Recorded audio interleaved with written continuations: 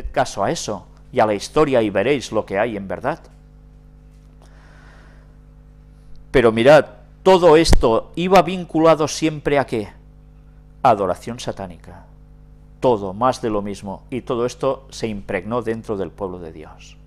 Y además se quejaban que si dejaban de hacerlo las cosas parecía que les iban mal. ¿eh? Claro, Satanás bendice a los suyos, ¿cómo no?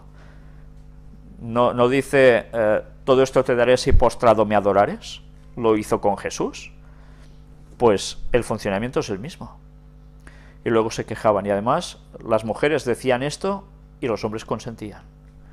Pero mirad también el versículo 25.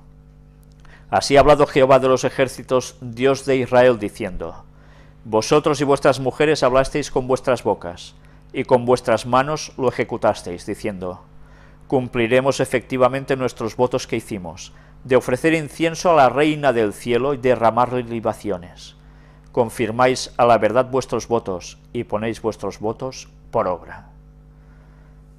El Dios de Israel, Jehová de los ejércitos, ¿quién es? Pues el Dios del cielo.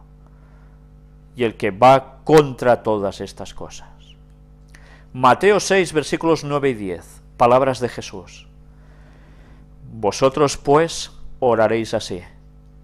Padre nuestro que estás en los cielos, santificado sea tu nombre. Venga tu reino, hágase tu voluntad, como en el cielo, así también en la tierra.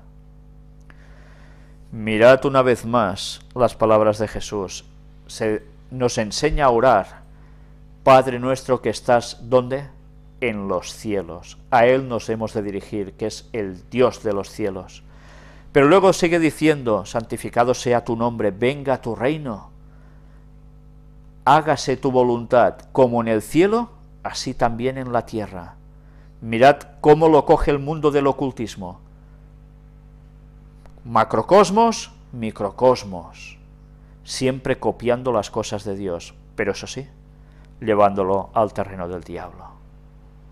Y Jesús, en sus palabras, ya nos está denotando que precisamente esas cosas no pueden venir de Dios. Juan 14 del 1 al 4. Palabras de Jesús también muy interesantes que dicen, No se turbe vuestro corazón, creéis en Dios, creed también en mí. En la casa de mi Padre muchas moradas hay. Si así no fuera, yo os lo hubiera dicho. Voy pues a preparar lugar para vosotros.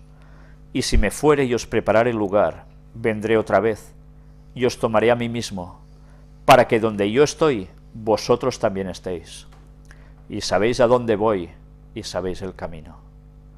¿A qué hacía referencia Jesús? ¿Dónde están esas muchas moradas que el Padre ha hecho para nosotros? Pues en el cielo. Y allí es donde nosotros terminaremos estando antes de volver otra vez aquí a la tierra con la nueva creación de Dios para nosotros.